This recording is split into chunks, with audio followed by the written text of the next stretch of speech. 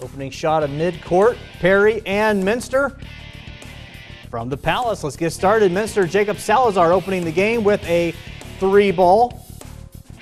Now some action from Perry's Chaz Jackson is going to poke the ball away, and he's gone. Takes it all the way in for the layup off the glass and in.